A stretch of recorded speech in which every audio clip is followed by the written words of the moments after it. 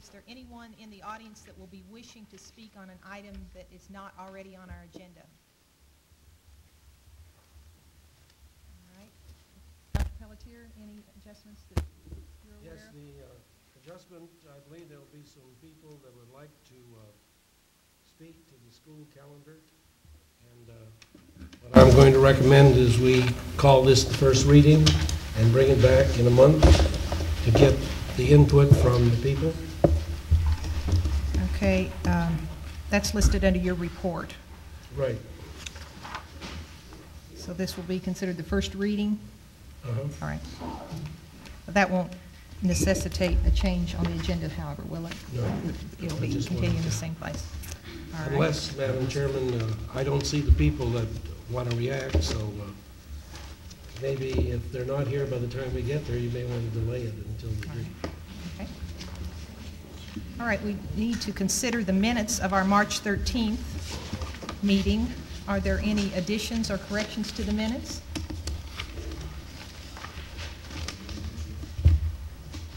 Then do I hear a motion that we accept the minutes? I move to accept the minute- Second. minutes by last meeting. All right, second by Mr. Hall. All in favor?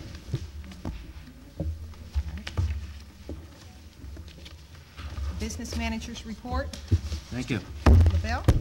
Page 49 of your agendas, we have for you the revenues for the general program. To date, we have received 76% or $6.1 million out of a possible 8,119,000.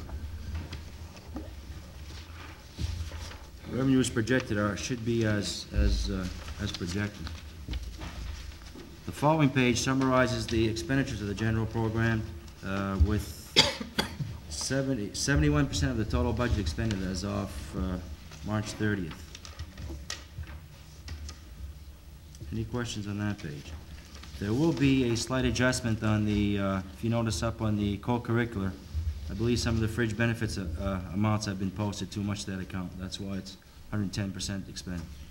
D, there's, superintendent has requested that there be a freeze on expenditures. How much do we think we're going to be able to save with the freeze that's been talked about? Hopefully, I believe sometimes in mid-February, I think Dr. Pelletier came out with a memo. Uh, When we started the process, we anticipated $250,000 as a year-end balance. This was uh, comprised mostly of the, the uh, bond issue that uh, the town got for the schools last year to do the roofs and a few, quite a few other projects. Uh, Of that, the- the note payment is only due July 1st, which I believe is $60,000 with some $22,000 of interest. Also, at that, what happened in, in June of last year, when we, the year end came about, we had, I believe, like seven or eight, eight teachers retiring from the district. And what we did at that point, we, like, paid their, their summer pays, plus, I think one or two of them uh, qualified for a, uh, a years. And by doing that, we saved probably sixty-five thousand dollars out of this year's budget.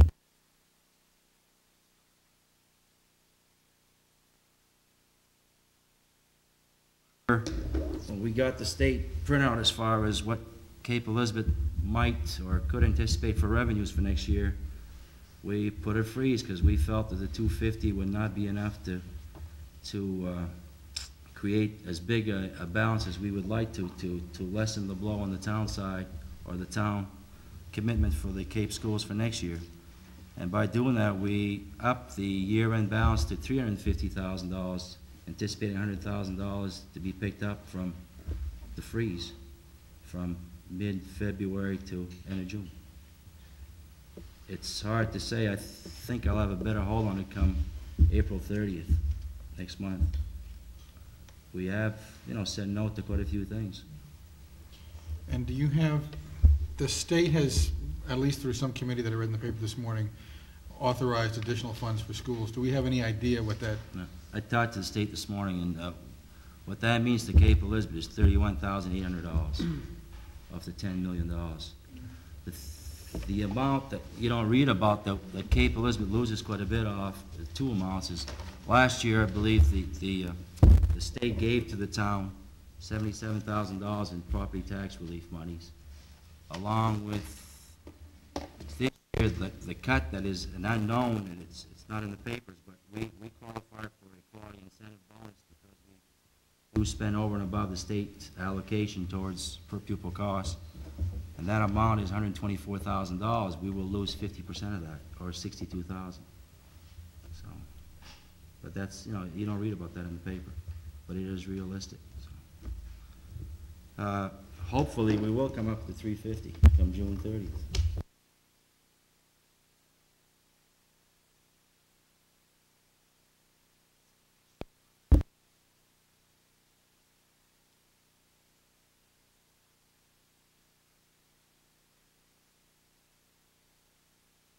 Happened, I believe some equipment that was budgeted for or uh, possible uh, supplies, it, it comes from probably, I don't know, four or five hundred accounts. Every account is being looked at, Charlie. And I guess what we're saying is that if you haven't, if you haven't ordered that typewriter that your secretary might need, you're not gonna get it this year. Field trips. Field trips, you know, it's a lot of Some commitments that we made, you know, we've made commitments for field trips as early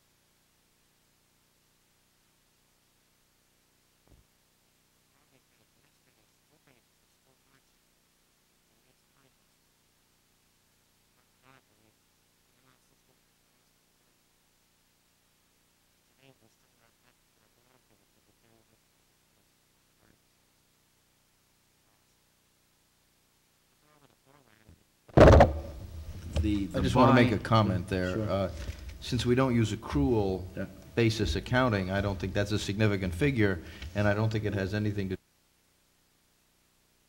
the cost of the school lunch in the middle school. No, it hasn't. It has, the- the significant, I was gonna mention that, Peter, but the signif- significant factor here is that, uh, true, it's not, it's a cash basis, however, looking at the beginning and ending, ending inventories, we're pretty much the same, they vary about, about twelve hundred dollars or something. I think we're just buying, or, we've, we've had quite a bit of food purchase in the past, and we're kind of, you know, easing off, using what we've got. Yes, Jan? But what would be, uh, I apologize for interrupting you earlier, if you were going to say that, but what would the effect of the increase be out of the 6,800?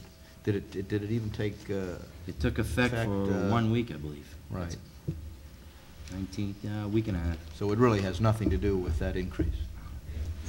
We should notice that come April, but then April being, uh, a month with, with, well, vacation next week, so we're gonna see, you know, the, the, uh, the revenue is way down because of that one week less. Uh, it'd be interesting come May, May is a full month. Jan? Do you think tonight that we might be able to set a date for the workshop? It- We've talked about it for a long time, and, and I think we really need to meet about that. And- And also, during the workshop time, I'd really like to see a breakdown of the food costs and the labor for each individual school. That's what we're doing. If, I don't know if you want a, a, a whole night for that. We thought of maybe prior to next board meeting, start at, I don't know, six o'clock or something. Start at six? Sure, We have four meetings, we'll have four meetings scheduled for May. Mhm. And in June, with all of the social things that go on. We thought probably at the next board meeting, they could put it on the agenda and spend a half an hour or so. During the board meeting. Could during, I'd rather, or if on a workshop. Let's give public notice that we will be having a workshop at 6 o'clock before the next board meeting, and and those who are By then, we'll have, uh, we're working on the budget for next year, and we have, we have identified a, a budget as a whole, but now what we've, we've done is gone back to the schools and said, well, we want a budget for each school. My reason for suggesting that is I think it could be a full agenda Yeah. if the language arts and some of the programs that we are tabling tonight are put back on the, uh, Okay. on the agenda, so let's do that ahead of time, so. But I will have the, the of time. director present and also the, uh, the managers of the three schools. great. Thank you. So why, why the thirty-four thousand dollars? Why a significant, such a significant cash figure? Did we get some, Thirty-four for what? Oh, the, uh, the March, the the cash sales? Full month. It's, uh, I forget how many days of operation, but that makes a a sizable difference. Plus, what probably happened, or I know what happened, is, is the end of uh, February, I believe you had two days of February, the, the revenues went to March. Which March? Because that's ten thousand dollars more than What we're any gonna other do though month. is, is next year, th- I'm gonna set up a, a form that's quite different than this, and it'll quote you a report like on an accrual type basis. So each month will, you know, be more actuals and not, because if you pay a lot of bills one month, you're losing money. If you don't, then you're making money. Okay. Uh, the following pages, the community services. To date, they've received or collected $358,000 and expended 262000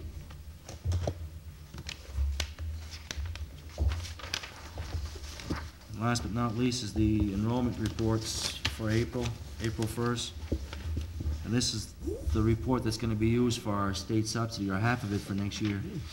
Uh, The elementary school, K five, is eight hundred and fourteen students, up one from last month.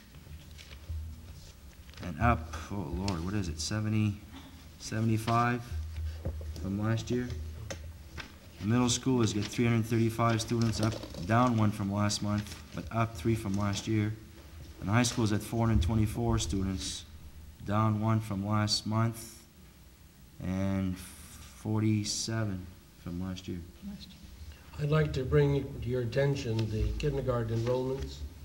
You'll note that 120 versus 103. I've received today from the principal the first preliminary registrations.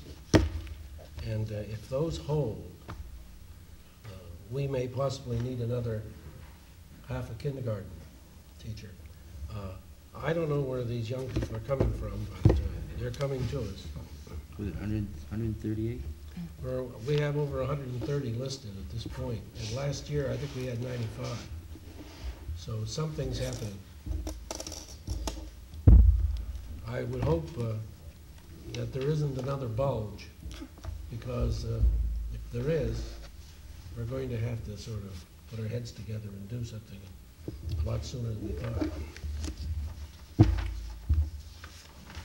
Any other questions? Any other questions for Mr. LaBelle? Thank you. Thank you very much. We'll move on to our comments by our high school representatives. I think they're both here tonight.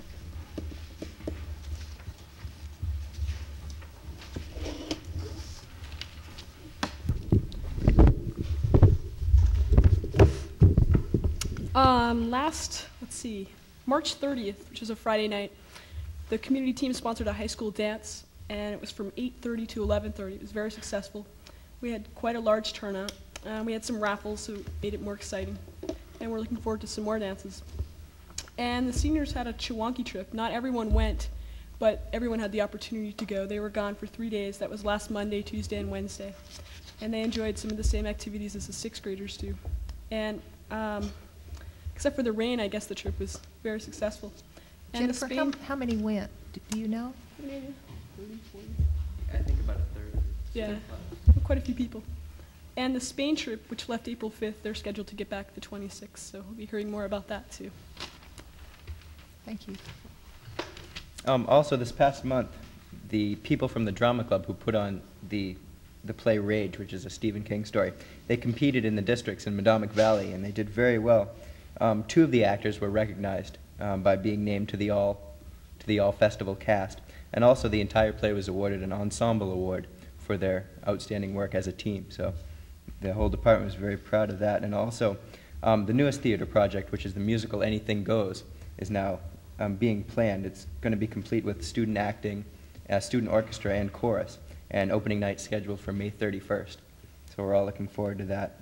Um, also, the speech districts were held on March 24th, and out of the five categories that send representatives uh, to San Jose, California, the Nationals this year, um, our high school was able to place uh, people at the top in all five categories. Um, so five out of the five representatives to the Nationals from the state of Maine in speech um, will be from our high school. So we're all really proud of that. And lastly, Do you have their names? um, the, Brian O'Donnell uh, was in foreign extemp. Um, Kate Greenwood was in uh, original oratory. Um, from humorous was Dan Berman. Um, domestic extemp uh, was myself, and dramatic interpretation uh, was Lee Foot. So the trip will be June 16th. Um, we leave, and then we'll be going to San Jose to compete for a week. So looking forward to. Congratulations to you and to Okay. Brian back on the, the camera and, and to all of you. Excuse me, I think you had more to say, Oh. but I'm really proud of that. Oh, um, yes, just one last thing. Um, Earth Day, the 20th anniversary of, um, I guess, a celebration of, of trying to make the communities of the world more aware of the environment, uh, is being held April 22nd.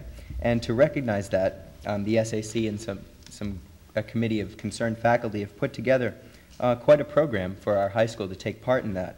Um, we're going to be having some speakers, uh, fundraisers to actually buy some acreage of rainforest in South America, making things like T-shirts and planting trees outside, all to, to make sure that um, that maybe just, if not for a week, you know, if not for that long, just for a week, um, that we perhaps can be more aware of our environment around us. And Earth Day, I know, has been going on for a long time, and, and I think it's good that the high school itself is starting to get involved.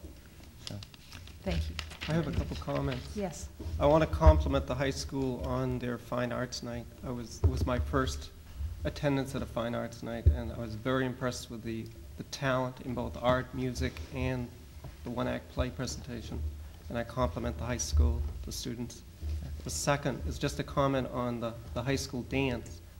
Um, I believe Frank told me that there was around 170, or somewhere between 170 190 kids, and majority of those were underclassmen, freshmen and sophomores. So evidently, there is a need, especially for the underclassmen, for this kind of um, socialization. And I'm glad that they conducted themselves in, in an appropriate manner, and I compliment the, the community team for sponsoring the dance. Yeah.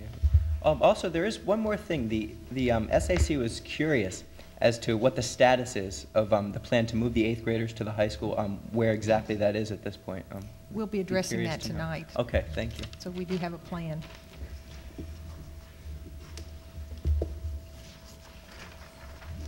Thank you both. We'll move on to the superintendent's report. The first item on the superintendent's report is the approval of our 1990-91 school calendar. Yes, Madam Chairman, the, uh, the calendar for next year, and uh, I would hope that uh, we have this approved uh, a month from now, but that uh, basically the calendar will hopefully stay the same because we're getting large numbers of calls. Let me say a few things about the calendar. Uh, This calendar calls for 175 school days for students, six teacher days, and we always plan on five snow days.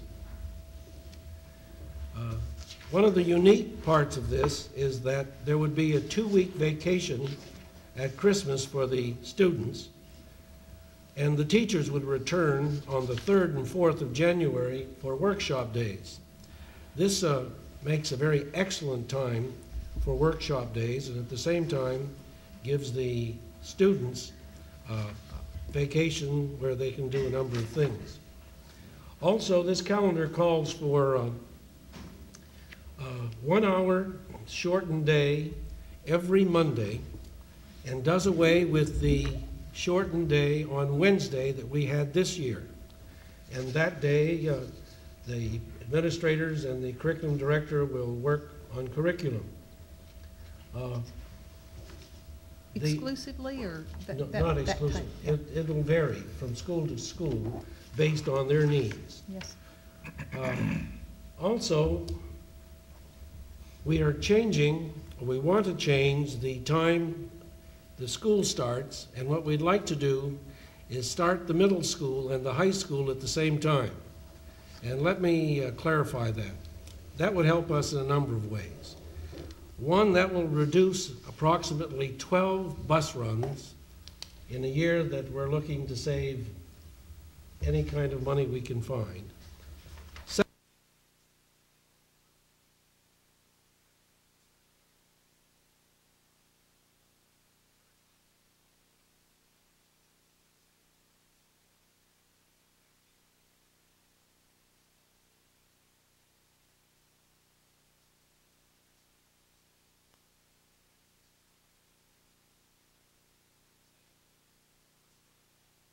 uh, time for the bus drivers, and it would benefit the school, uh, school day.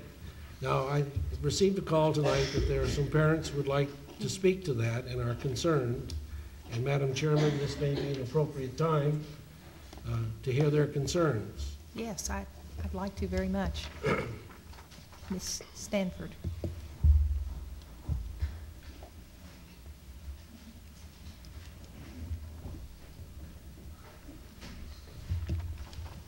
Anine Stanford, co-president of the um, Education Association. The association met a week ago today in a general session because we hadn't had an opportunity to do that during the year. And with so many issues surrounding us lately with regard to next year's programs and the budget, we decided it would be a good idea. During the session, we discovered it seemed to be a consensus from many of the people in the buildings that they hadn't had a sufficient amount of time to react to and to give input concerning the calendar for next year. So it ended up in a vote to send a letter of request to you, asking that uh, perhaps we could be given a little bit more time to talk with teachers and poll teachers in the different buildings to find out how they felt, particularly about the early release time on Mondays and the teacher days in uh, January, as Dr. Pelletier just outlined. We're going to meet again May 2nd as a total association, but in the meantime, we could be, through our representatives of the units in each building, be getting some input and could send that to you for your consideration before the calendar is finalized in your a meeting a month from now. We appreciate you um, tabling this item for next time. Thank you. Yes. Ms. Reed?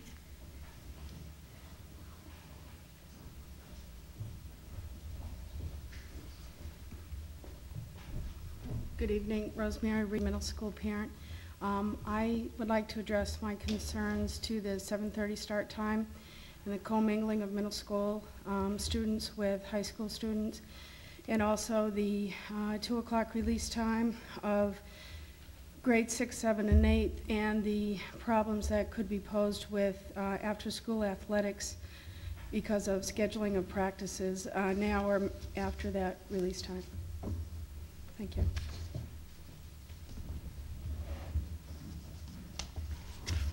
I mean, why wouldn't the athletics uh, Would- Would would you like to expand on each of those? Yeah, I, I think, I, you mentioned about five things, and, and you might want to give some background into what your concerns are of each. Yes. Um, Mr. Leslie, the um, concern about the athletics is there's a proposed 2 o'clock release time. Many of the teachers who are coaches um, are in the fourth and fifth grade. Example, Mr. Joe Doan is a coach of uh, a lot of the middle, several of the middle school athletics.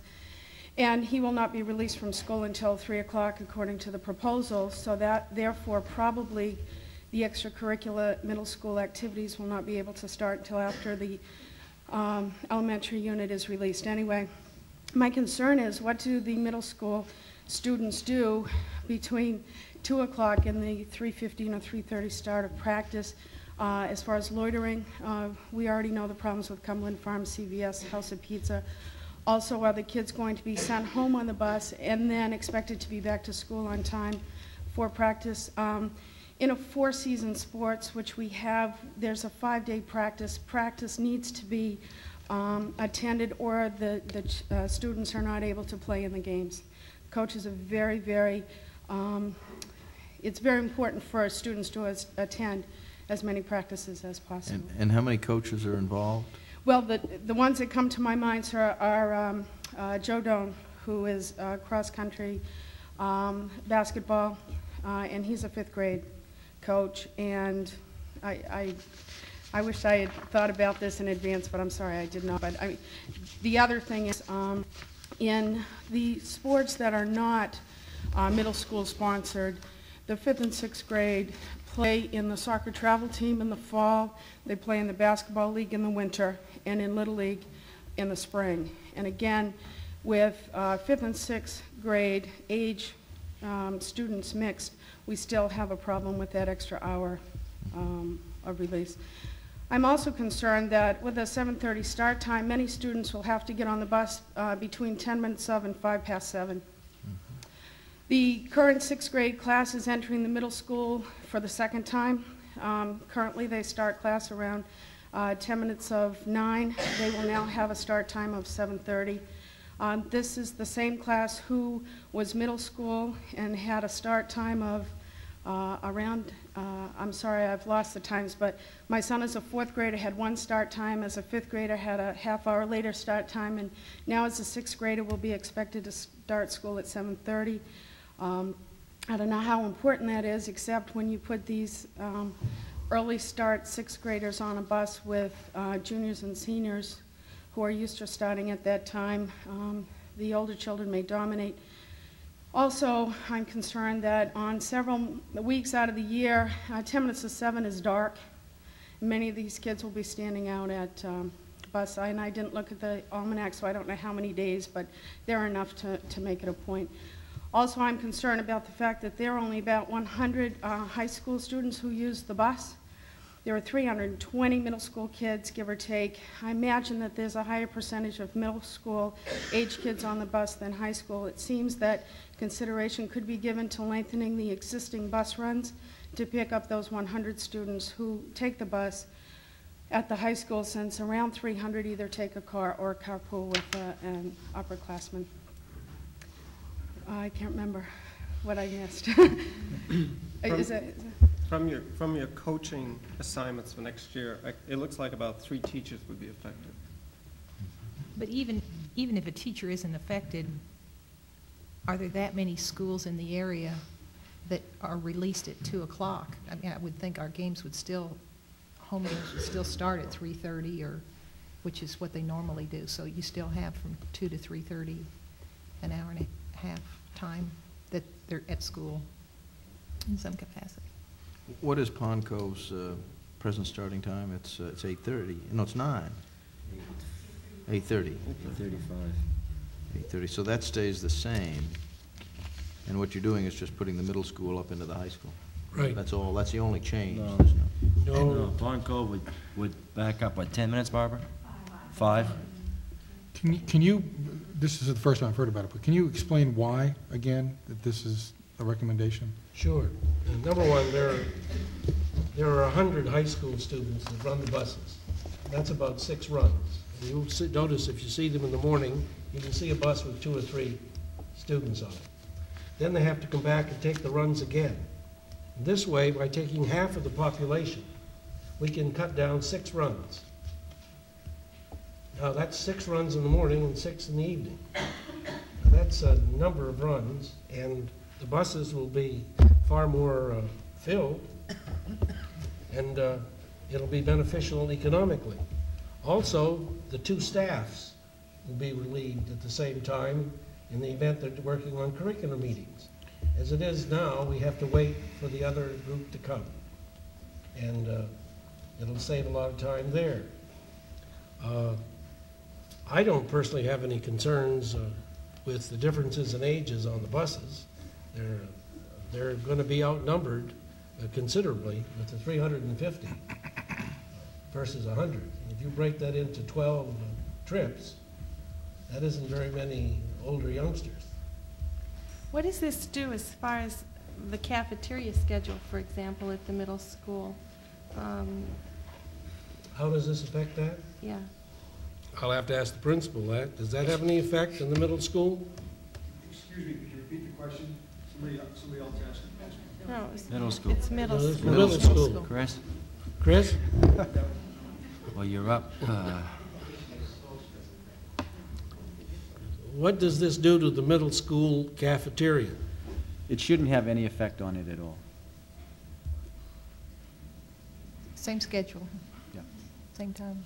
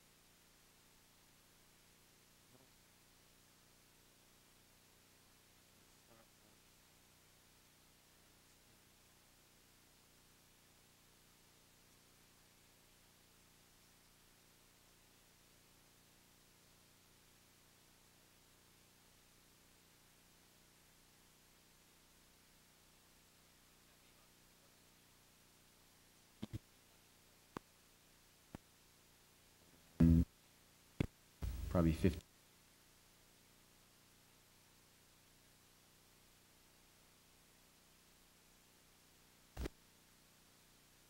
of us.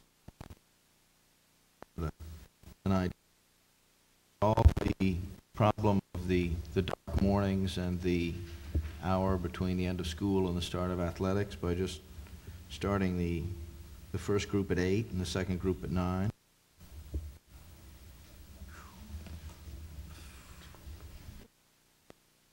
Group meeting. You're saying, I'm, I'm not sure what,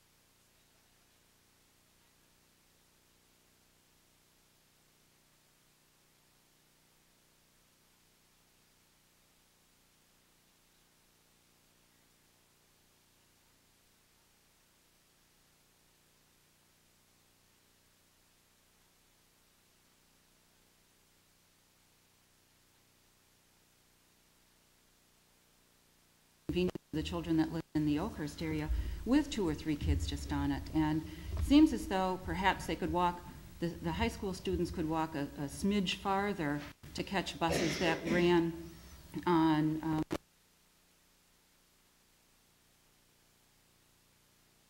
starting middle school. I just think is very, I mean, obviously, this is a time of saving money. We can all understand.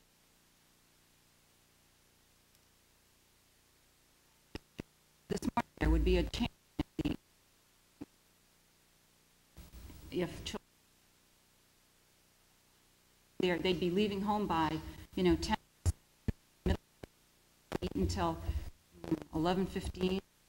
That's a long stretch. um, for- I, I think that you, if you, new to you all, I really think that maybe more thought come into some other options before you make a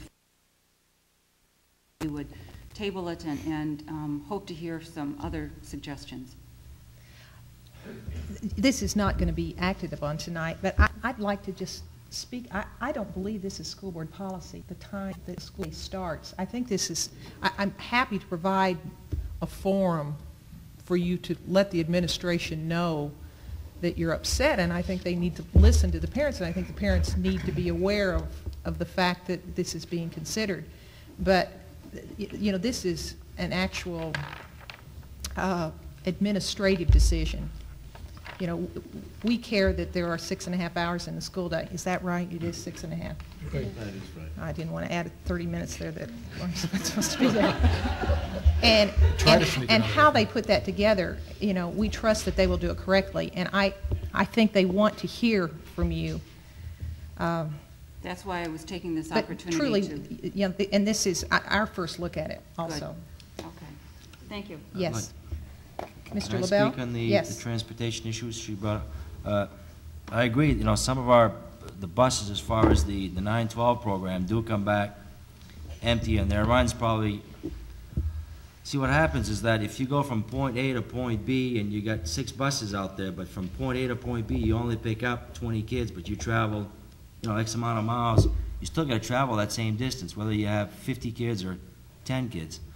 Uh, that's why, you know, the buses do come in that empty. Uh, The high school kids do, in a lot of the, the uh, streets, walk to the main streets to get the buses, and we don't go in to a lot of developments like we do for the K-5 or 6A program. Just that there's so few kids that, that do take the bus from the 912 because of the enrollments. We only got 427 kids next year at the high school. And we just felt that, you know, by doing this, we could still have the same six buses go out, make one trip in, and then fill up the buses, and therefore eliminating that one trip in the morning, that one trip in the afternoon, which we feel is considerable savings to the districts. Yeah.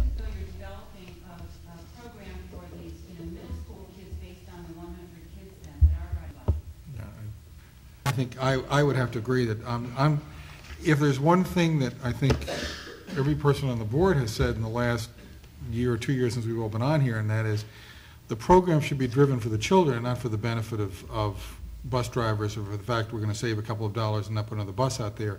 And I think we're talking about a radical change here in asking, you know, 350, 360 middle school students to adapt their complete schedules and their lives and change dramatically for the sake of 100 high school students and to save a couple of bus runs. Also, I think at some point, we have to figure out what time these three schools start each year and leave it at that for at least a while, because every year, I mean, you know, we changed the time during the year this year, and now we're going to change that time next year. I think that's hard on parents to, especially if they, if they have to make arrangements for kids before school or whatever, they need some stability as far as school starting and- and ending times.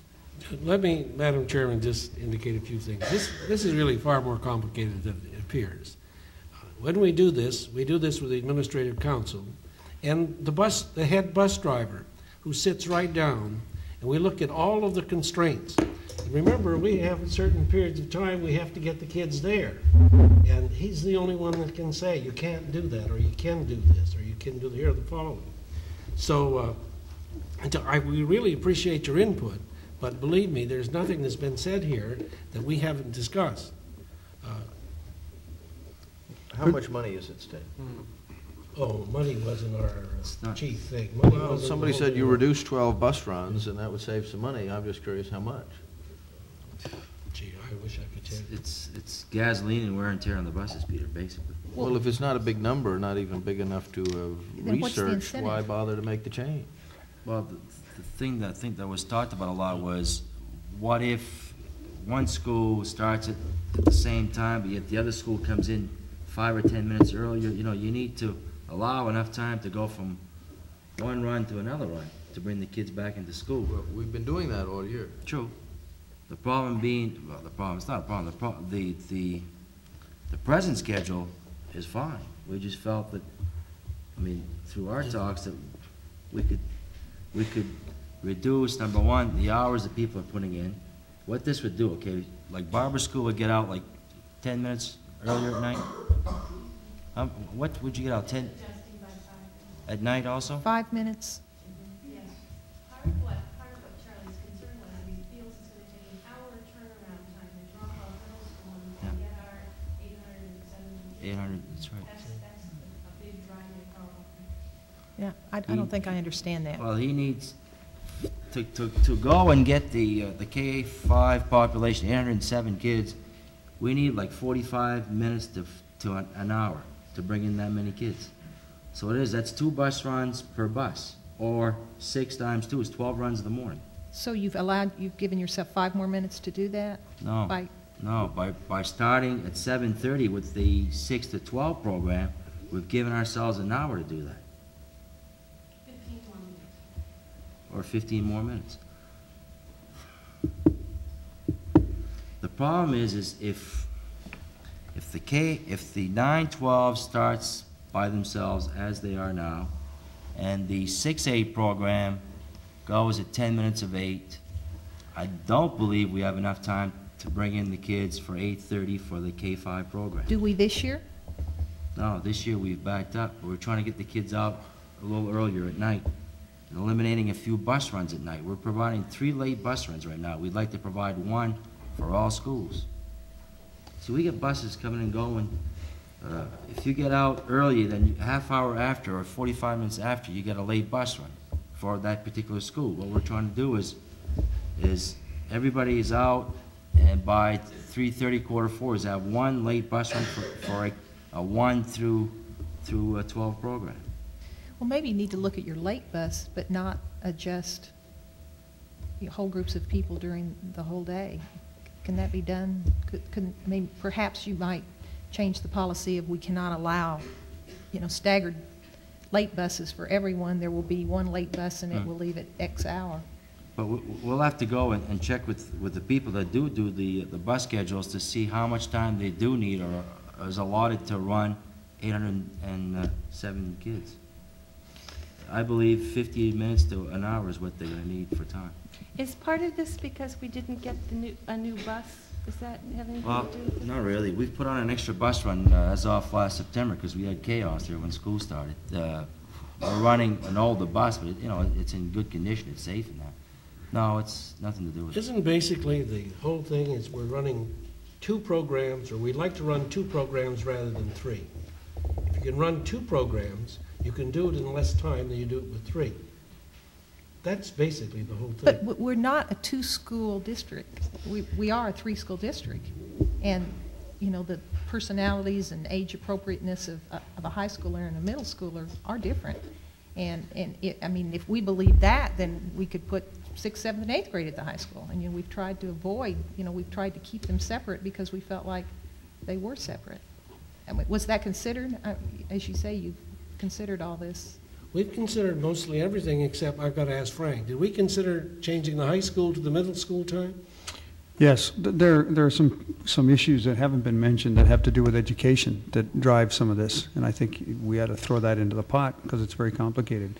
One is that we're sharing staff between the high school and middle school next year, so. But aren't you sharing staff between the middle school and the elementary school? Y- Yes, we are. And what we're trying to do is get the, um, get the times congruent so that they fit, number one. We are trying to, to eliminate a bus run as, as, or a, a whole set of bus trips. Uh, We could start school at quarter of eight and get out at 2:15, but that doesn't give enough bus time to, to, for, that means there, there needs to be, if you have just the two bus runs, um, that needs that hour turnaround. One of the problems with starting the high school later is that it, it impinges on a host of high school sporting events in the fall particularly, um, which um, means we let, we have to let students out of class early or we cancel some, some JV games. So what we tried to do was find a time that we thought would be an appropriate starting time for the, the two schools. There are not many high school students who take the bus. I mean, in, in that sense, it's not, it's not a big issue for high school students, I don't think. It is certainly for those who need that bus, but in, in terms of the total high school program, an awful lot of them stay for sports, uh, probably fewer than 100 take the bus home in the afternoon. So we just, we, we were trying to solve a, a number of problems and not create a lot. I think some points have been raised that we'll obviously go back to the drawing boards and think about it. But it's not just a, a transportation issue, it's not just a scheduling issue, it's not just a program issue. It's just, they all sort of fit, and it's sort of a funny puzzle. And was trying to get them all to to fit correctly that uh, we came up with a solution. I- I wanted to mention the education problems, too, of sharing staff, and we are sharing staff in, the- in all three schools. Any, any other comments? Any other comments from the audience? I, I would like to make a comment that I, I, I like the idea very much of the teachers doing, having two of their workdays, those last, those first two days in January. I, I think a concern of educators and, and parents alike is, are these split-up weeks where the, the students are in school four days and not in school that fifth day, and I think this, to me, is a, a very good solution. It seems like a good time because they're getting back after a, a long vacation and can tie up their semester and, and begin planning for their, their next semester or for whatever purpose uh, they're meeting. But I, I'm particularly pleased with that, that part of the, the calendar. That seems to be a change, and, and um, I think it's a good one. Any other comments? So you're going to take this back. We'll take this back and weigh uh, all of the uh, expressions we've heard tonight and recheck the constraints and see if we can't uh, bend a little, or if we can, we'll try. If we can't, we'll come back and say, this is the way we think it has to be. All right. Uh, And then what- the, the last point was very important because I think we're going to be sharing staff for the next two or three years between the middle school and the high school specifically. And uh, we've got to find a way to be able to do that. I- i- there also is shared staff between the elementary and middle, too? Is that Yes, correct? uh-huh. But the real difficulty is when we start reducing the high school load and the middle school load, we're going to be probably doing far more in the academic areas. In the elementary, it's primarily the art and music areas. And those are a little more flexible, you see. All right. Any other comments before we move on? Has anybody arrived that wants to speak? No? Then this will be tabled until our next meeting, and we'll be presented with uh, a final choice for the school calendar, final suggestion. Uh, Superintendent's report, uh, progress report on portable classrooms. Good, we'll just want to say that uh, Dee and the architect have been to the zoning board, and it was acceptable to that board with the same conditions placed on the last portable. Uh, Dee and the architect and myself will go to the planning board on Tuesday. And if uh, if, uh, one or more board members would like to uh, accompany us, we'd be more than happy to uh, just call my secretary. We'll be more than happy to tell you where we are on the agenda. And sometimes if we're late, you know, you don't have to come as early. Uh, But we're hopeful, uh, we've had construction permit with us now. Uh, Dee has been there today with the fireman and the architect. Uh, And I don't think we see any constraints at this point, do we? No, we, we need to address the, uh, I guess, a roadway so that emergency vehicles could get, you know, behind the buildings. We looked at that today with the, uh, with the architect and also the, the fire chief, Cape Elizabeth, and along with Bob Malley, the highway supervisor. Uh, The state fire marshal has approved the concept of the portable, the building will be sprinkled. What we've done is we've asked, or Dr. Pelletier wrote a memo to the town council requesting a portable for next year. We'll be addressing that through the budget process. There's no road now there, is there? There's a, Oh, boy. I mean, I walked it with you not too long ago. There's no, there's no road that I remember. not per se, but what would happen is that between the, the bus garage and the, the, uh, section D, I guess they call it, the middle school, there is a twenty-eight foot, uh, way there where we would, uh, take a bulldozer or something and, and take off the, uh, the topsoil and then put gravel, Oh, okay. go to the back of the building, we'd have to take down a few trees and connect it to the road coming up at the other portable in the, uh, Scott Dyer Road. Okay. So, you know, it's, it's, I don't know how much money, we're gonna have uh, an excavator come over with us tomorrow and give us an estimate. but it needs to be done either way. And that road would be open, you know, year-round, winter time especially, so that, just in case. Uh, be- Before we move on, uh, let- let me just make a statement so that it's perfectly clear that, that the choice for the, the, uh, the shortage of space next year uh, by the, the uh, school committee, wa- and this is in answer to your question, Peter, and I'm sure other people need to understand exactly, was to ask for a portable building. And we've requested that of the town council. It has not been approved. We're hoping that it will be.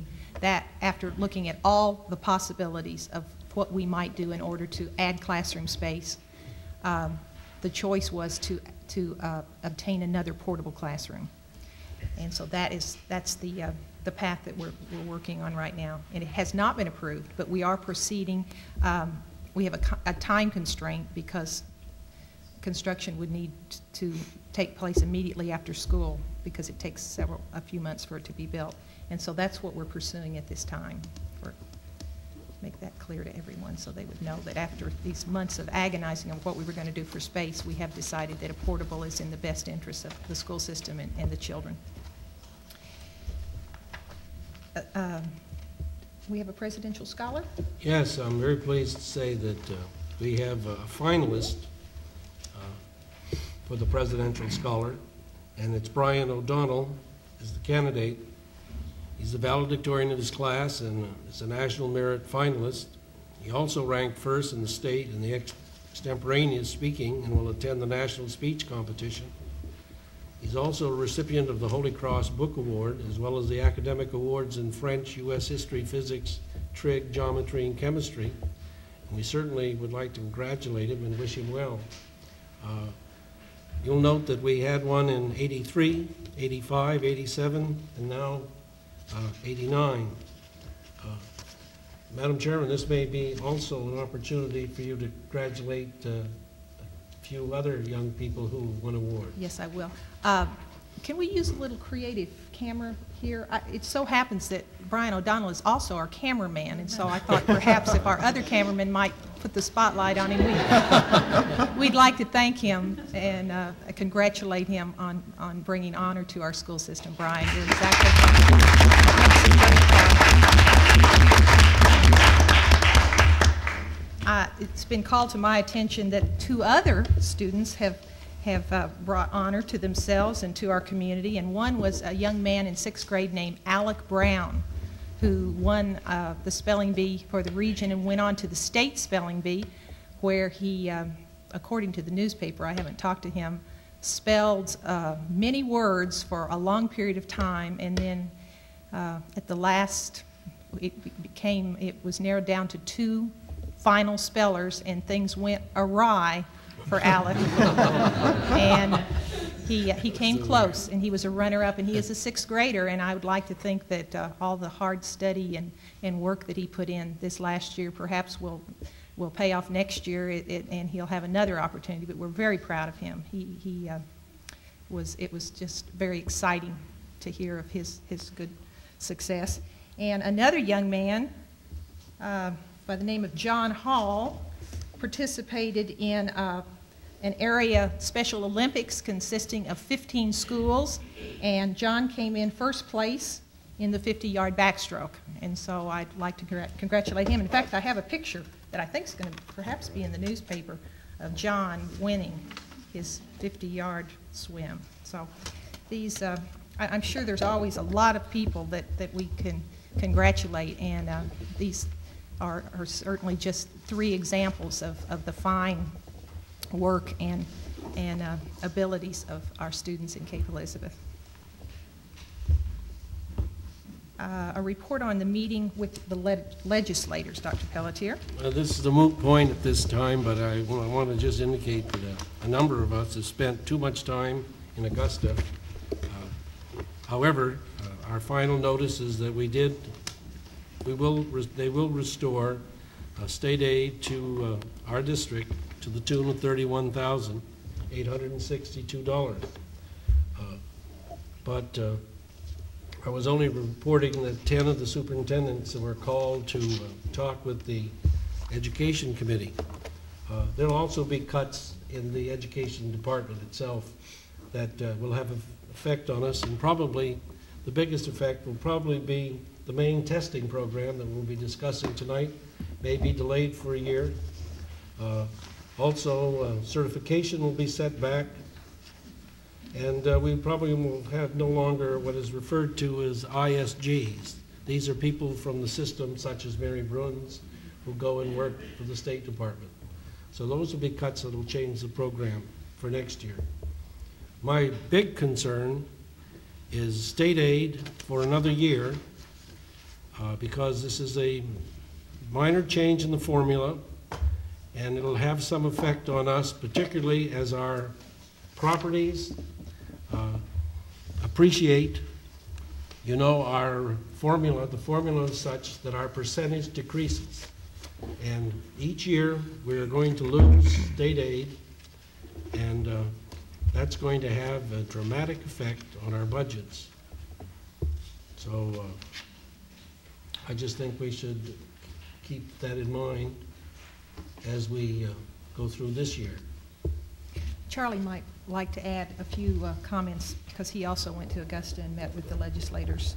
Um, On March 28th, I represented the school board on the Portland area York County um, team of the, of this education coalition that's been formed with all, all the, the Maine school boards association, the principals association, the Maine teachers association, and the superintendent's association. And on that day also, we had two teachers from our system who were there, Neen Stanford and Clark Smith. And we, we met with legislators at the, at the State House. Uh, we personally met with Mary Webster and our Senator Barb Gill. We had luncheon with the legislators from our districts. And um, the thing that I think that came out of that was that there were no new taxes for this year from this session. Um, The legislators, I think, are aware of the impact on the local property owners by this reduction in state funding, which we're getting back a little bit of it, but it still is impacting us. But I think it's strictly a partisan issue this year.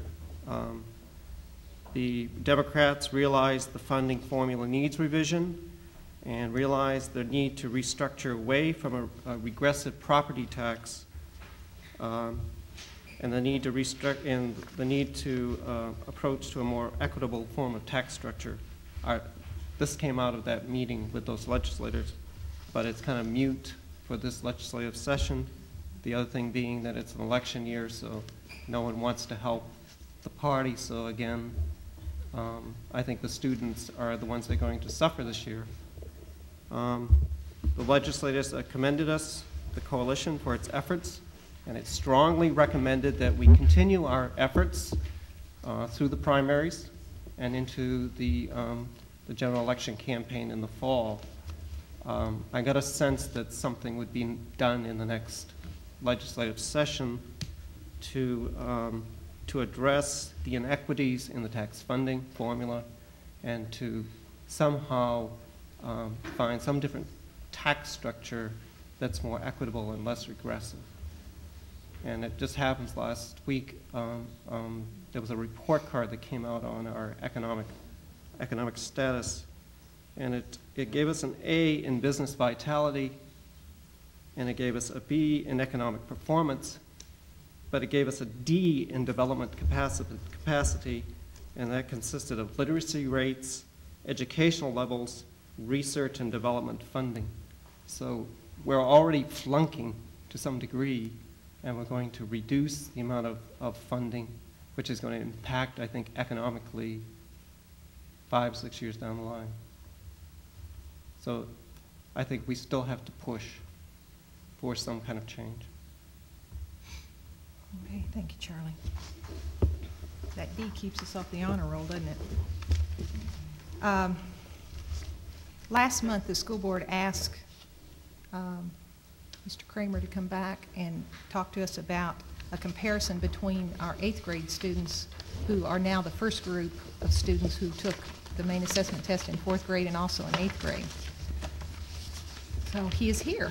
Dr. Pelletier, did you want to say Kramer? Okay, thank you.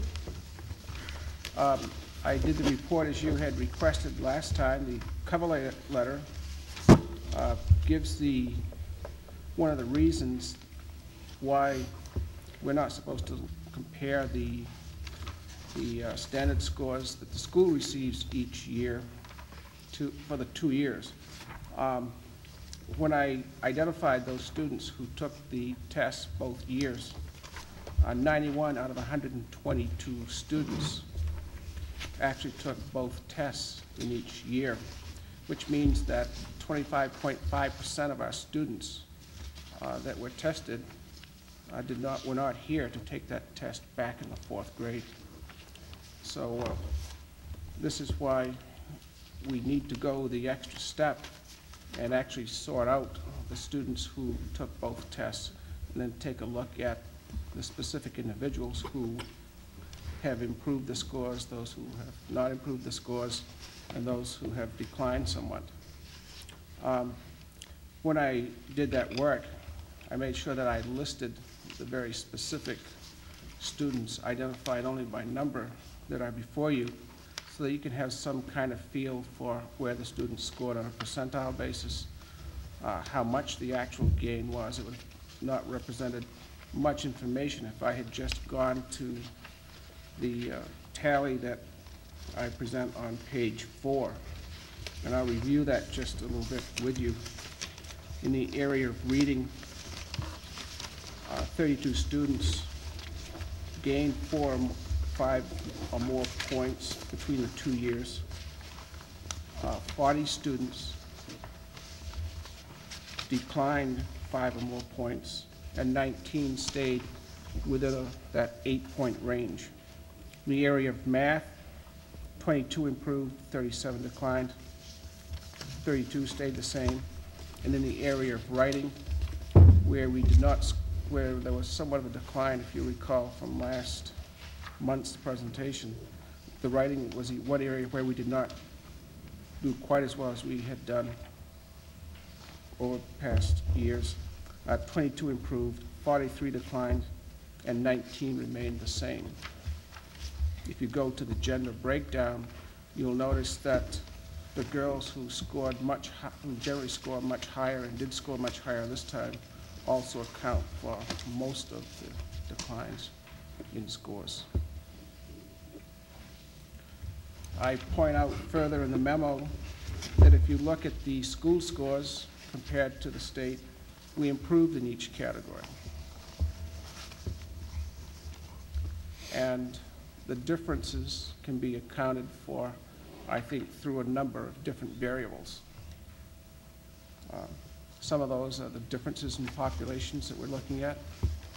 Um, The differences are relatively small in each case, so that a little bit of a variable plus or minus will account for the kinds of differences that you see here. Um,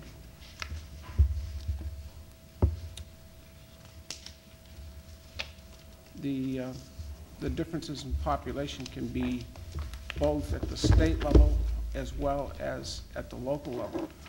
For instance, uh, one of the things that I think that happened when the tests were first given is that uh, some schools weren't as attentive to educational needs as we are in Cape Elizabeth.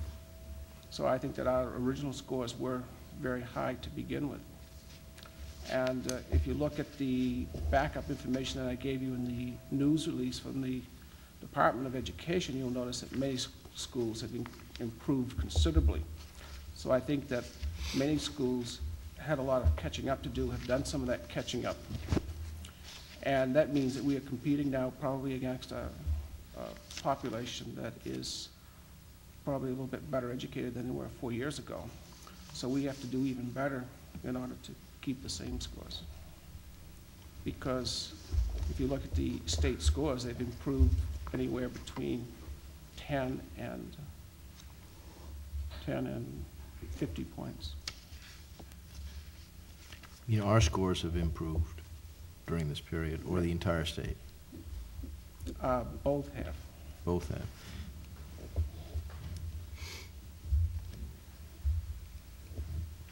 Any questions? Charlie? Another thing that came out of that legislative uh, lobbying day, when we were talking with the legislators,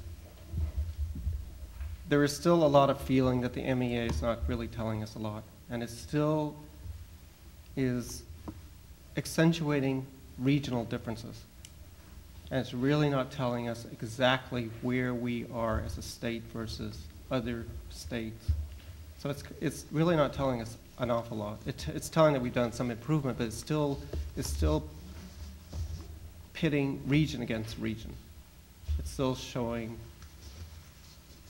you know, all the schools have, have gotten better, but it still shows I, I would think that would be true up until now, but now we can start comparing with ourselves. We can compare the same child in fourth grade with his, what kind of an education he's gotten for the last four years. Except for the fact that, from what I understand, the test itself has changed a fair amount in the four years. That it was in its infancy when the, they took it as fourth graders, and as eighth graders, it was almost, it was very much a different test than it had been four years ago. Is that correct? So it'd be more difficult or less difficult or just different? Well, I think the writing, they, they changed considerably in what they were asking the kids to write and how they were asking them to do it. So I'm not sure that this is a comparison that, that means much of anything, Mm-hmm. actually. Well, I guess that was going to be my question. What, what, after you spent hours combing through the files and preparing this wonderful report that we requested, what did it tell you? Yeah, basically s- points out that compared to other schools across the state, that we are, we are right up there towards the top. Some years we may drop down a little bit, but still maintain scores within that third percentile above the standard, above the mean. I mean, the third standard devi- deviation above the mean, which means that we're well into the upper 90th percentiles on a regular basis. Were you surprised at so many scores that were less than what they had scored in the fourth grade? You would expect that there would be more, considering that our scores continue to improve. Um, Probably, a lot of that difference is accounted for by the twenty-five percent of the students that didn't take the test, both times, you see. uh. The other thing that could have happened is that the kids who, the kids who went down may have gone down more than the kids who went up, went up. So that, uh, Well, that's not, in- that's a cause of concern, isn't it?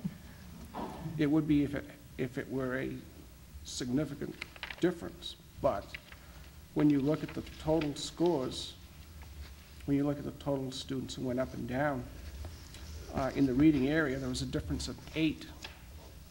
So that if four kids had moved, it would have been exactly even.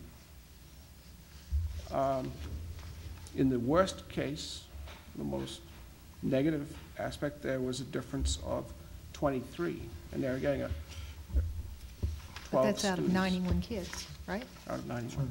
That's a large percentage. Right? I mean, isn't, isn't, And, go ahead, I'm sorry. but that, that was It's on. about a- that- 30% of the kids, 25% of the kids. In the, in the writing area. Right. Uh, And that's the area where the girls did not do as well this year.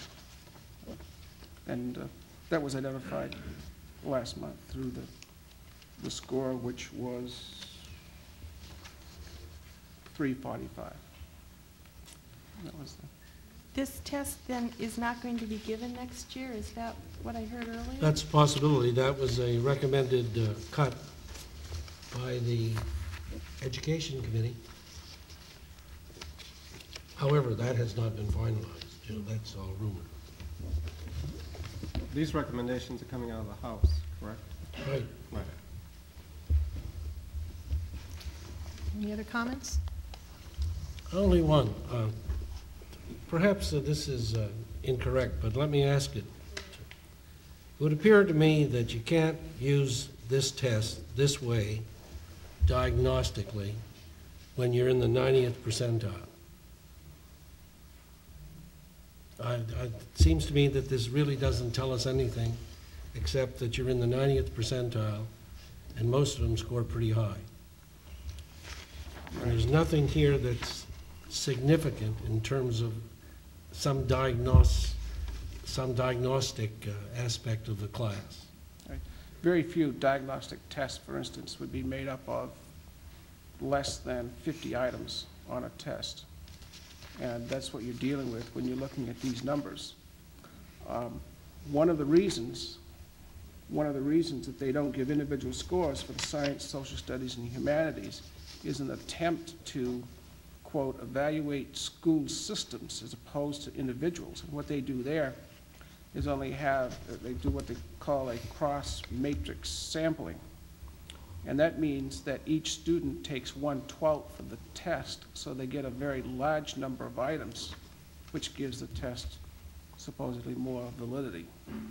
And when you get into that kind of a situation, that's, it isn't even useful in terms of any kind of individual assessment even. I guess with all due respect, Darrell, I'm concerned, and I, I don't, I don't like to sit back and just crank out a lot of numbers. I mean, we, we get in trouble when we start to just look at numbers and we try to determine the success of a program or where we are with, with a program based on numbers.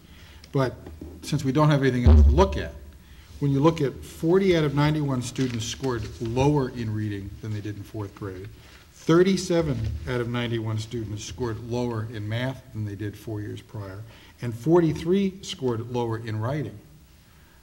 Isn't that something that we should be taking a look at? Isn't, doesn't that, isn't that a flag, Lyles, that, that we should be saying, maybe there is a problem here? Should we look at this a little further? And let me add, those numbers, that doesn't mean that if 40 scored lower, that, that 52 scored higher, That's right. 32 scored higher. Right.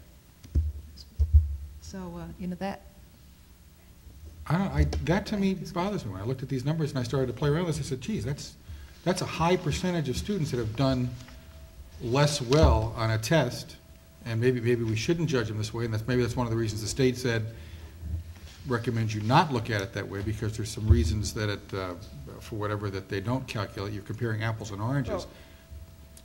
One of the one of the things that I did do is develop a very narrow range to arrive at the plus minus. Okay? When you're working with that kind of a narrow range, then you're going to have quite a few people falling both below and above. but in every case, they scored below. Right. Every girl, more girls scored lower in math, in reading, in writing, than scored higher this Right. time around. More Absolutely. boys scored lower in math, reading. So there was not one area that we did, that more did better than did worse. And I want to say one thing that Mr. Garvin said. Chris, you were there. And he said that if you ever find that your testing begins to fall off, do away with the program. And so I, for one, am going to look real carefully at these, and I hope we do take them next year, because to me, these numbers mean something, because they really are a comparison child, the same child after having been educated four years, and I expect them to go up. He said they would go up. He said if you're doing a true middle school, if you're truly doing whole language and meeting the child where they should be, those scores are going to go up. They're not going to go down. And the problem is, there's nothing else to judge the program by, unless something is developed that says, we have something to measure the progress of students under the programs that we have, we have to fall back on information like this, whether that's right or wrong, that is all we have. And when we look at numbers like this, it raises a flag in my mind that we shouldn't just slough these off and say, you can't compare these because the state says you shouldn't compare them, and, you know, there are all those reasons why. There's something here that concerns me. I, I agree that it raises a flag, but I think we have to be careful how, what test we're comparing our school system to. I think that's real important. I don't know whether the Maine State test tests the things that are important to the school system. Now, surely there are, um, Well, I would think being able to a math problem, it doesn't Yeah, matter Let me how. finish, though. I mean, I, I, I think that there are certain um, things like a math problem or a particular fact that, yes, kids know or they don't know, and they need to be taught. But I don't know when we're talking about, you know, critical thinking areas, the kinds of things that whole language are trying to do, is trying to do and so forth. I don't know whether that's measured. I agree with what you're saying. There are some bottom line things that all kids should know on any test they should be Well, able you've to seen do. the test. I remember you saying you I got a copy part of the of the test and, test, and it yeah. was, did you say it was a good test or Oh, that was a year ago. Yeah. I, I mean, did they change? I don't know whether they change or not, but it was just, you know, I didn't see the whole test. I saw the, the reading portion of the test. Can, can I just add a a few things? Having worked on the um, You worked on the advisory committee um, for the test for four out of the five years, and having learned a tremendous amount about testing, um, this test is revised every year, so it's never exactly the same test. Revised much more carefully than other standardized national tests are, simply because it's a much smaller test. We give it to a much smaller population. When these students took the writing test, for example, as fourth graders, they wrote to two prompts and they were graded or scored on a four point scale. As eighth graders, they wrote to one prompt and were scored on a six point scale. So it's quite a bit different. And it is revised every year. I think your point about assessment and that we need to find something to assess our progress is absolutely appropriate. Mm-hmm. I have no problem with that. I do know that having sat on those advisory committees, that there are lots of variables that do make it very difficult to compare a student's performance in this test one year to their performance four years down the road, simply because it is revised so frequently. I guess I, I would really like to see us be devising something within our system that measures very carefully what our kids know and what we value and what we think they should know, whether it be critical thinking or, you know, statistical facts or whatever, and, and be quite, you know, firm and, and make sure that, that that is happening in our schools. Because if this isn't the right way to measure, we, we don't have any other message to send to parents other than this is the measurement and this is how the kids are doing. Well, I can't believe we have an education system here that's so exclusive that only we can measure what we're doing well within ourselves. I would think that national figures, you know, we sort of fit in sort of like the rest of the guys too. I would look There should be something out there that we, we can measure ourselves against, because we're going to have to live in the whole world outside of Cape Elizabeth too, and. But I'm speaking specifically to this test. I'm not Yeah. speaking to national, other national tests. But, okay. That's true. That stresses my point about the regionalism. It's pitting regions against regions. It's really helping the whole system. Are we helping those? We seem to score consistently well.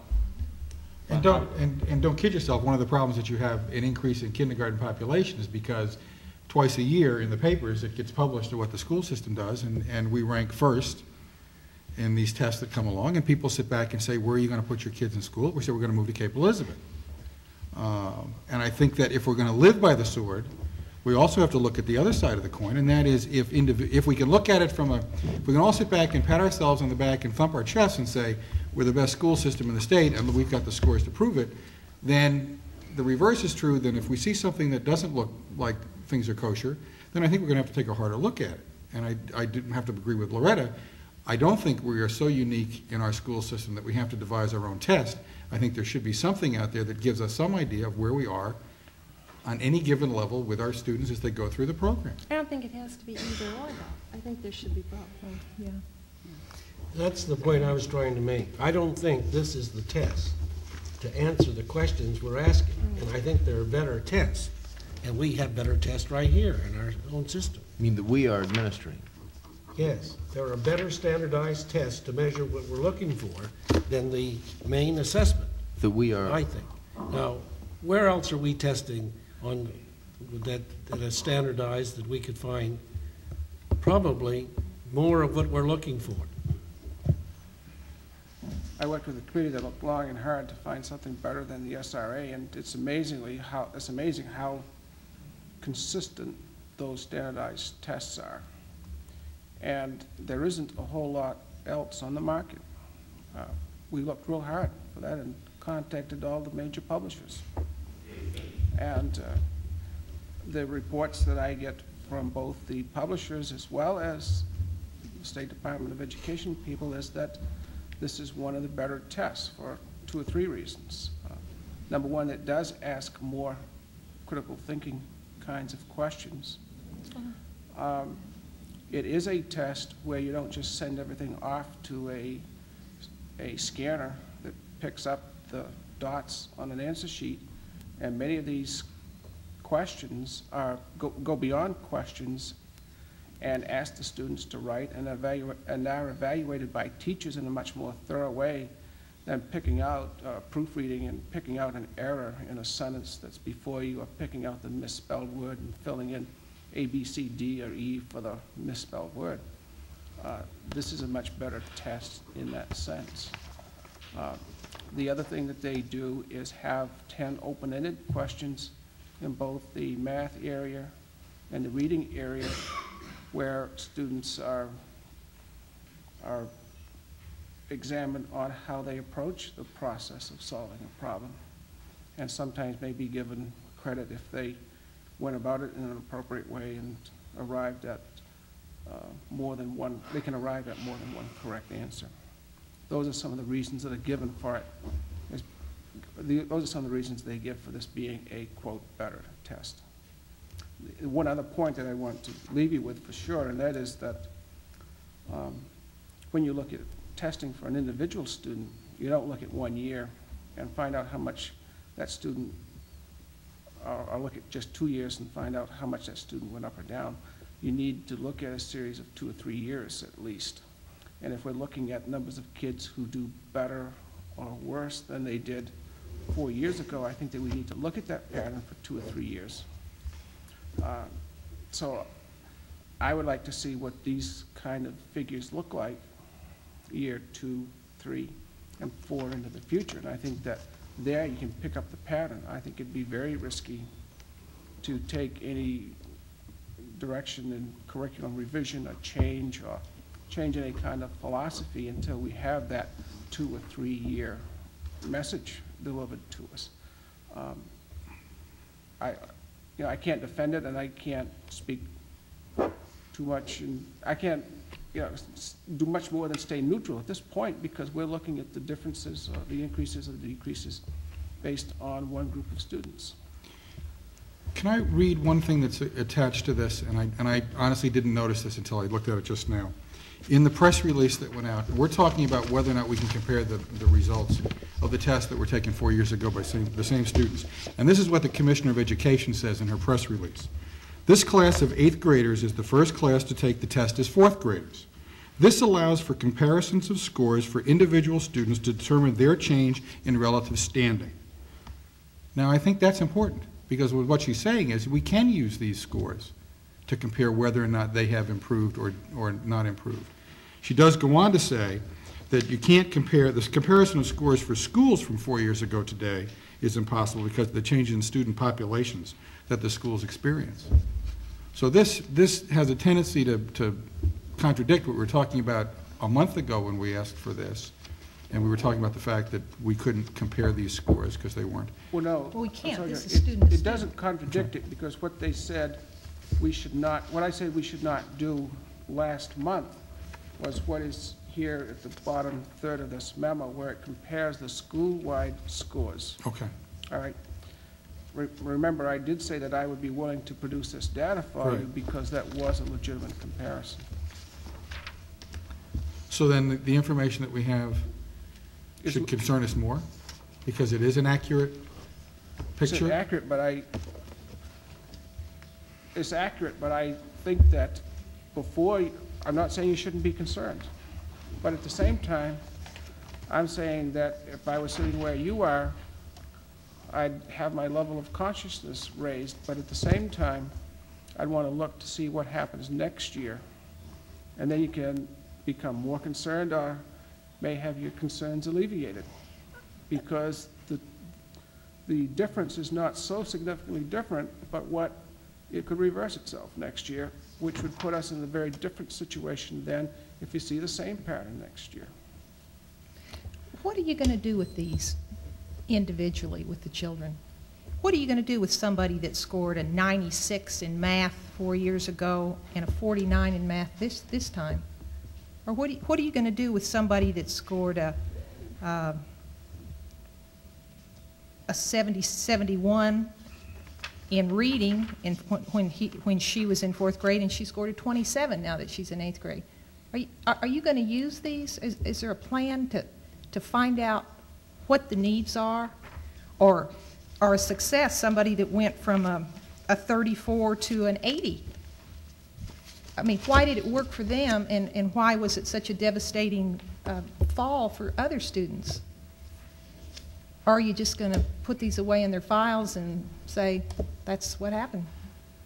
Um, I have two or three responses to that. Number one, I always have a workshop with the teachers following, either following up prior to this meeting that I have with the board, so that teachers, many teachers have already seen this information and have used it to some extent.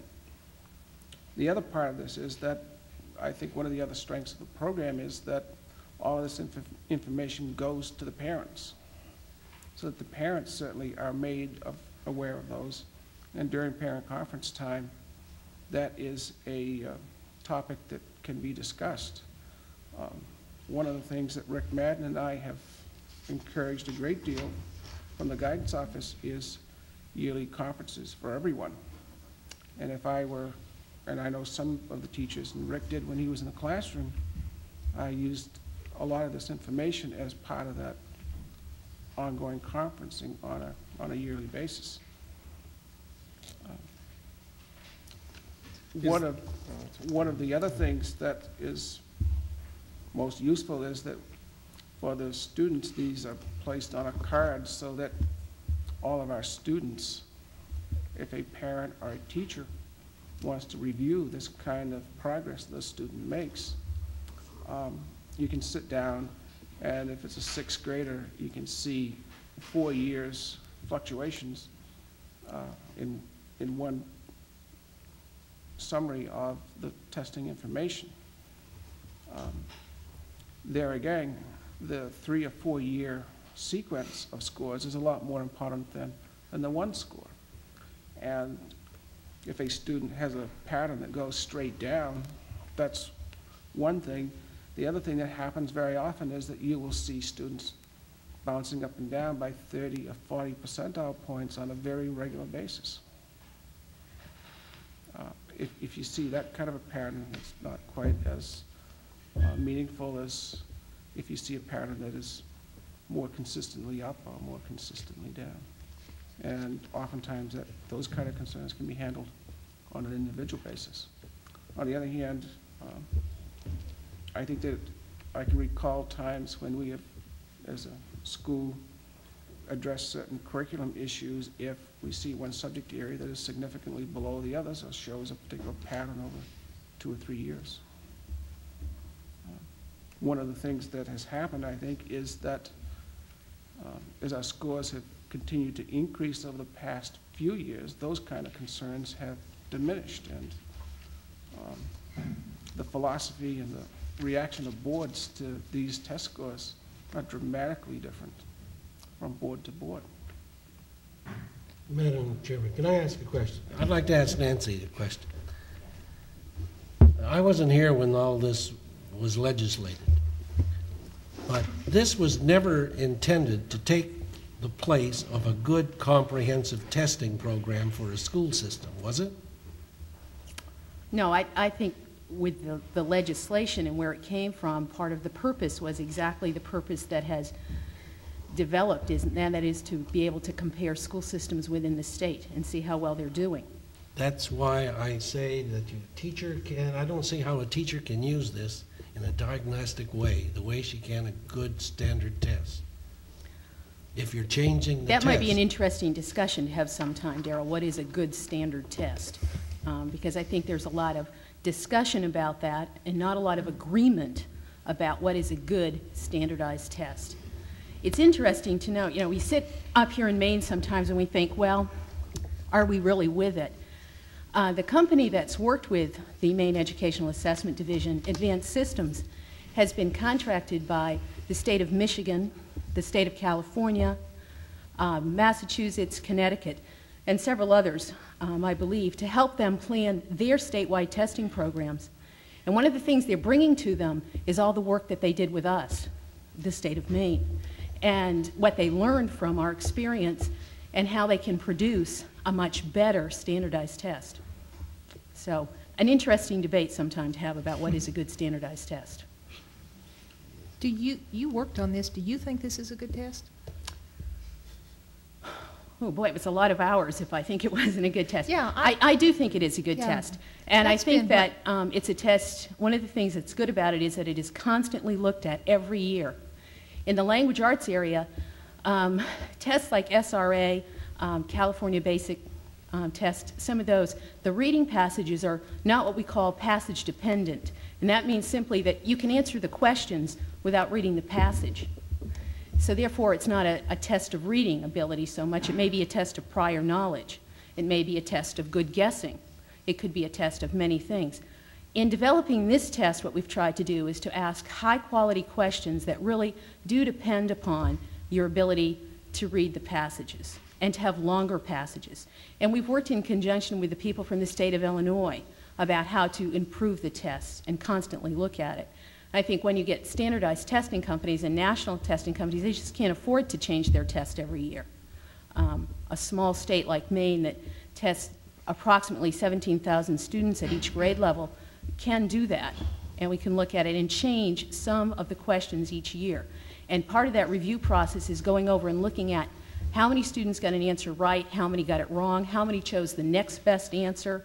Um, is there a better way we could ask the question? Should we ask an entirely different question?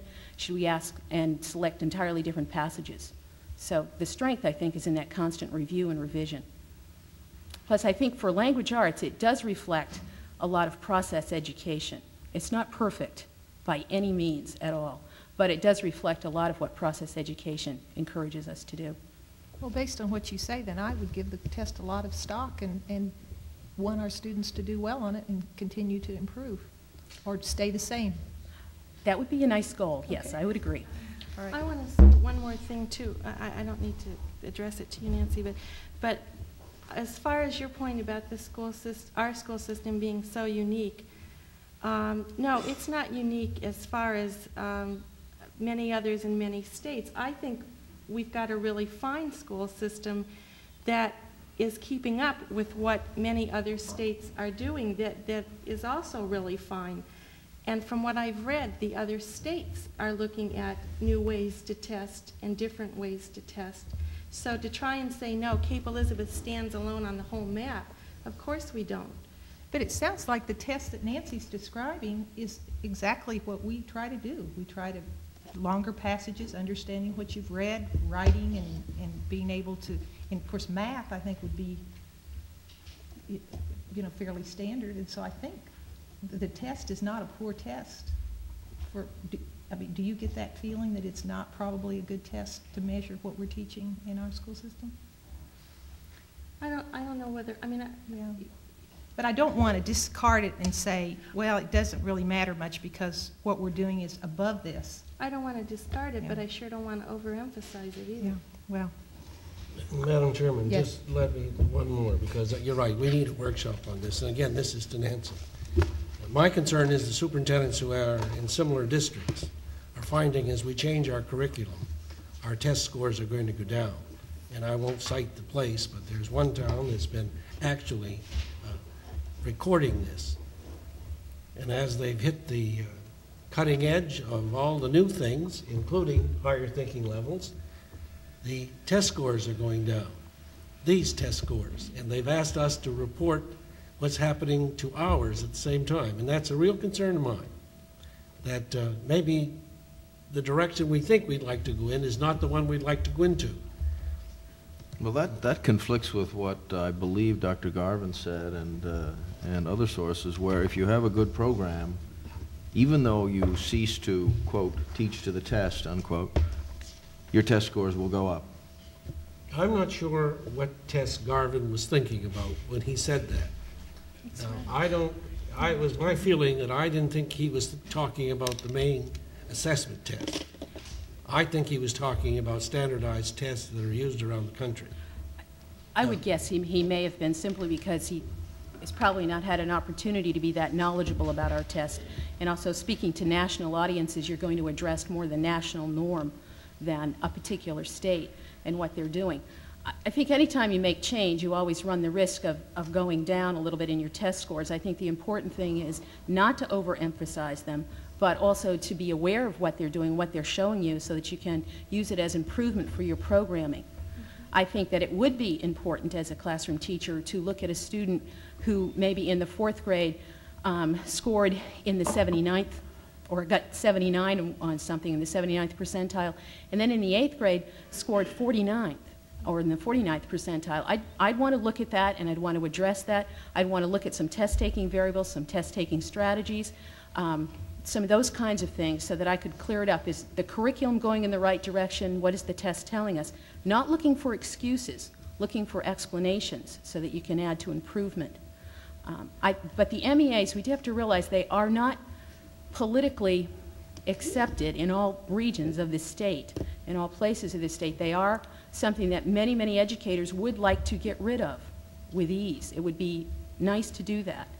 Um, I think they've shown us some other things for our system that we're not perhaps in that position, but I think they can force us to ask some very good questions. I think also, Sue Welch and myself, having worked on the advisory committee, we bring to you one of the things the MEA has done for us is to help instruct us in how to construct a test, instruct us in how to construct a test, let's say it that way, um, and how to put together some things so that when we do have the time and the money to develop some curriculum-based assessments, we can do it in a very appropriate way. I would also be interested to see how we grade our students, what these eighth graders' final grade was, to see if there's any disparity there also.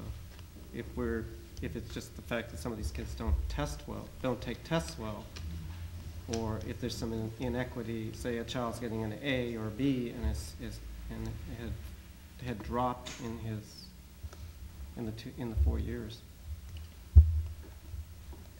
I would like to uh, look at a copy, and I can't recall whether I've seen one before, of the record, Lyle, that you keep for each uh, student, and, you know, how these test scores are recorded on that and compared with other, other tests. Um, I think the only other point I, I, or question that I have, and I've been uncharacteristically silent when there are a lot of numbers on the table, but uh, I- I'm frustrated by this arithmetic anomaly where you have the school's performance rising over the, um, over the four-year period, and yet you show so many declines. And uh, it either could be accounted for by the, I assume, by the students who weren't tested on the second go-round in the eighth grade, and the fact that you've chosen five points as the, as the cutoff you might have, uh, curiously enough, you might have an average of eight points on the decline and 10 points on the rise, or vice versa. Is that, does that make any sense to you? Would that, maybe you and I should spend some time. I'm sort of curious about that because it doesn't, on the surface, it doesn't make sense. Uh, one a lot of smart kids have moved into town since fourth grade. Well, it may be. That's, uh, that that may be the, uh, the reason. But I'd like to maybe spend some time with you individually on those two subjects. Okay, this is going to be a characteristically short meeting. It's now 10 after 9. Are can- are we all ready to move on? Um, The school board workshops, Dr. Pelletier? I'm suggesting uh, two dates for the curriculum and the career ladder workshop, May 1 and May 22nd, at the high school library. All right, does that meet Does that- everyone's schedule? What's the date of the next school board meeting? 8, so May the 8th, I believe. Yes. Next school board meeting.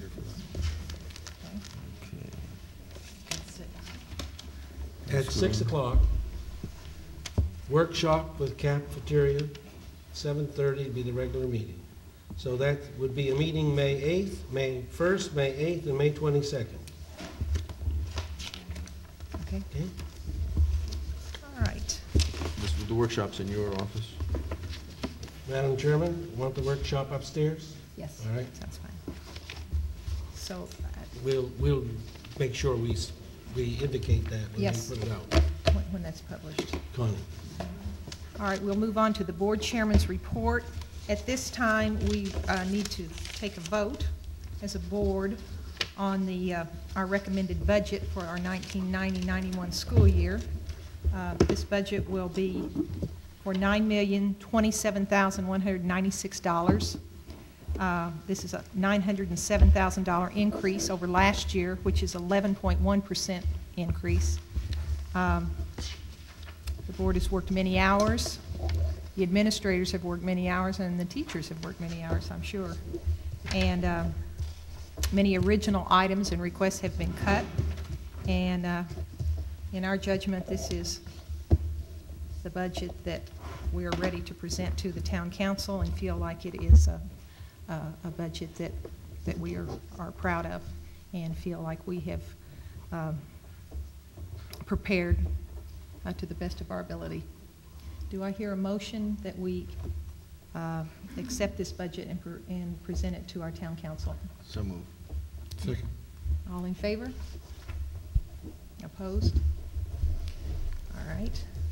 We'll move on to old business, and that includes a consideration of a change in a school board policy, which is the child abuse and neglect policy. This is the second reading, and tonight this will be uh, voted upon by the board.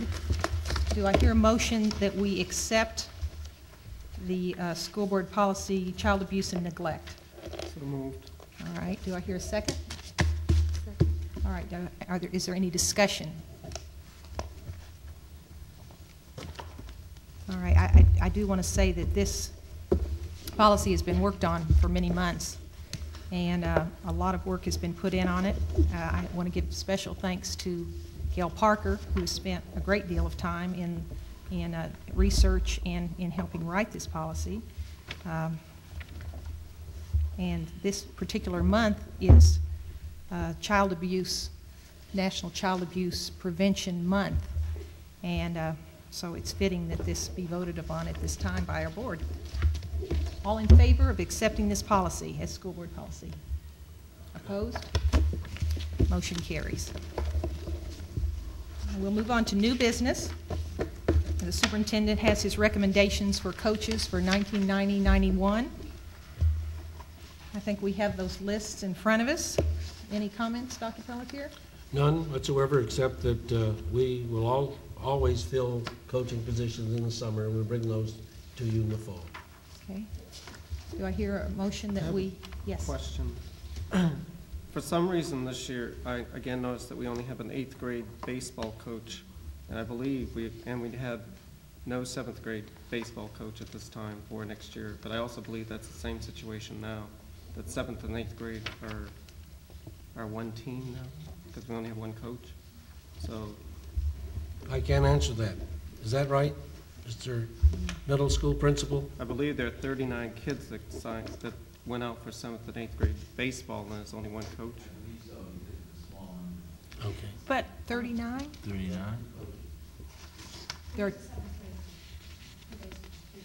I understand that this year they're cutting kids from the team, and that's something that is new. Okay. Uh, I wish, I'd like to make that very clear. Since our new AD uh, has joined us, we've had a no-cut policy. And where we even think about it, I come to the board, or I, I find money so that we don't cut. We haven't cut anyone that I know of in two or three years. I think there are some children that have misunderstood them. Good, I would like to know that, so I could straighten that out. Appreciate that. So who is the seventh grade coach? It is Mark McClure, who is Jean McClure's son. Okay. all right, do I hear a motion? Oh, Is there any other questions? All right, do I hear a motion that we accept the uh, coaching assignments for the 1990-91 school year? So moved. Second. Second. No- Any further discussion? All in favor? Opposed? All right. We now have a consideration of a request by the superintendent to enter executive session for the purposes of discussing negotiations and personnel matters. But before we do that, I would like to make a note of two dates to remember. One is our May School Board meeting, which was mentioned a moment ago, which will be at 6 o'clock on May 8th. And the, uh, there are two joint budget meetings with the town council. The first will be in two days, this Thursday, April 12th at 7 PM. Will that be in the chambers? Yes. It will be here in, in the, uh, the town hall chambers. Uh, This is certainly an open meeting, and anyone interested in the public would, would certainly be uh, invited to attend. Uh, The school and community services will also meet with the town council on Monday, April 23rd at 7:30, here in the council's chambers. All right? And now, do I hear a motion that we enter executive session? So moved. Second. Second. All in favor? Opposed? All right, the meeting is adjourned. Peter, one of your suggestions to get down